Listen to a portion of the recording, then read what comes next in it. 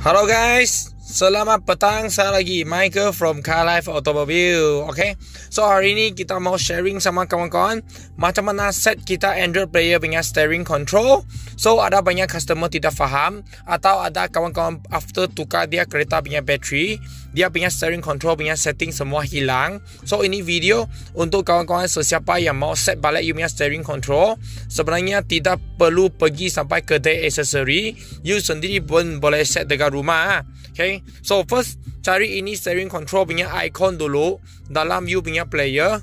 After you masuk, Kawan-kawan boleh tengok sini ha. Ini yang kita Mazda punya steering control sebenarnya tidak kisah you kereta apa, semua sama punya. So first step ada tengok sini ada satu start. So you tekan start dulu. You tekan start. So sekarang kita set volume up dulu. Set volume up. So sini volume up. You tekan sekali. Kalau dia sudah set masuk, kawan-kawan boleh tengok dia sini punya icon akan jadi grey color. Ada? Okay. Kalau dia jadi grey color, maksud dia sudah berjaya save ini data sudah. So sekarang kedua button kita sama repeat sama punya step. Volume down.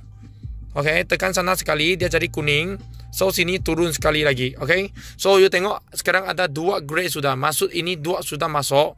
So selainnya you hanya repeat balik sama punya step macam mode. Okay, mode.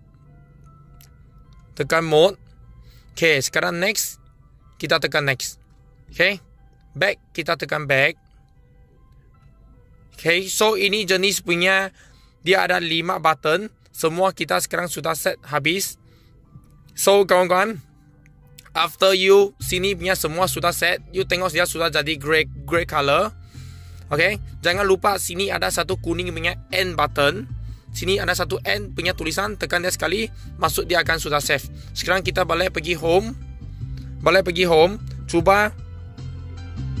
Sudah ada, boleh tengok. Okay volume up, volume down semua boleh. Semua cun-cun. Ha, okay. Ini adalah kita punya cara-cara untuk save you set you punya steering control dekat you punya rumah.